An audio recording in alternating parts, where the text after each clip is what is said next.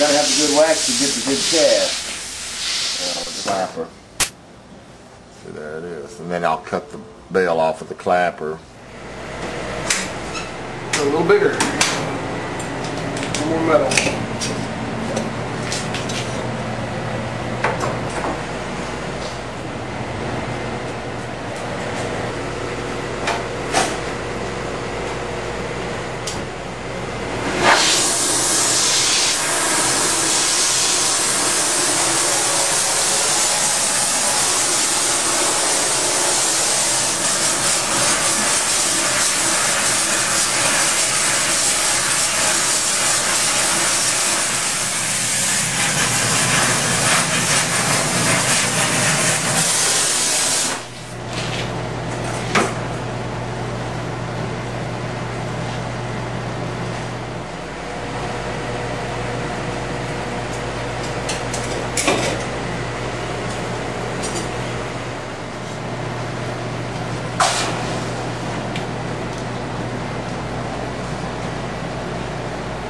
Eighty, seventy degree water.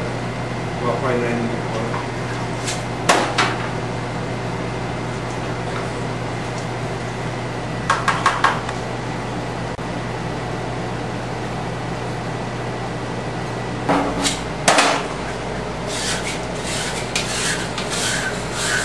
Placing the hole with the automatic center punch. The hole where the wire will come through connecting the clapper and the bail.